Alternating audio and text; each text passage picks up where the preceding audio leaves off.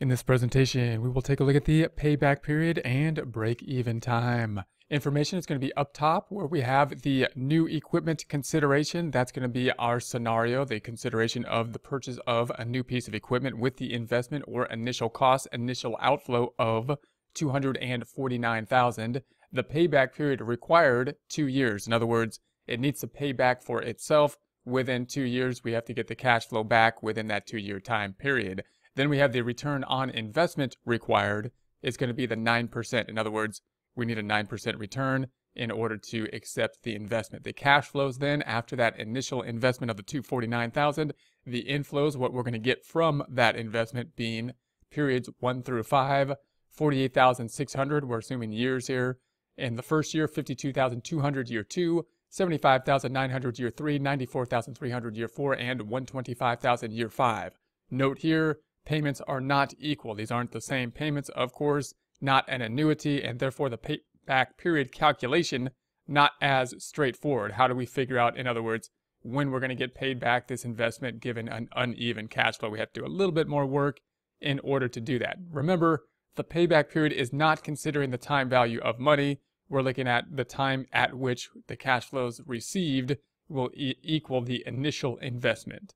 One way to do this is we can say, all right, let's take a look at each year individually. We'll break out the year, we'll break out the cash flow, and then we'll have a running balance. The running balance is just going to be for year one, of course, the same as the initial investment. The initial investment, that 249, 249,000, same for the cash flow and the running balance. Then in year one, we've got the uh, 48,600. Within the running balance, that's going to be the 249,000 negative balance plus the 48,600, and then we get the 200,400. In Excel, this is a really nice and easy thing to do. We can set the first formula, use autofill to copy it down.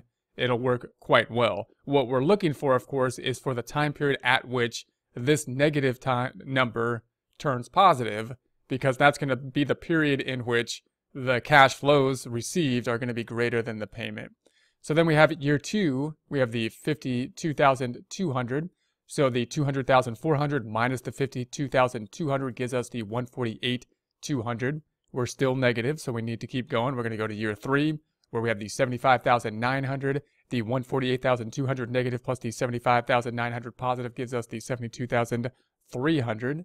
Then in year four, we've got the 94,300, the 72,300 plus the 94,000 300, it gives us a positive 22,000. Therefore, some, somewhere between year 3 and, and 4, 3 point something is where we have that break even period where we flip and the cash flows have paid themselves off. We paid off that initial investment.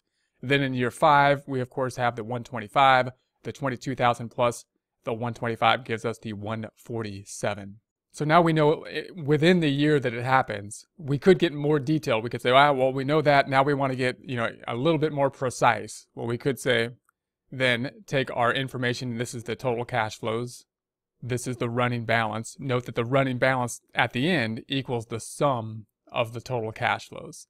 So then if we think about it in this format, we're going to say that the year three, we had the 72,300. 72,300 still not paid off. If we divide that then by the 94,300 that happened in year four, we can get the percentage of the year that uh, that it was paid off in 0.77.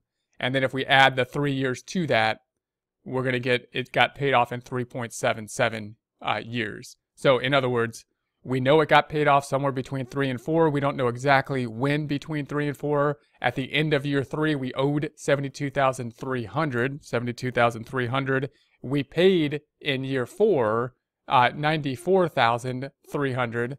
So if we take year three divided by the payments that happened, we're going to get the 0.77, and that's going to be the partial year that we have. So then we add the original three plus the 0.77, we get the 3.77.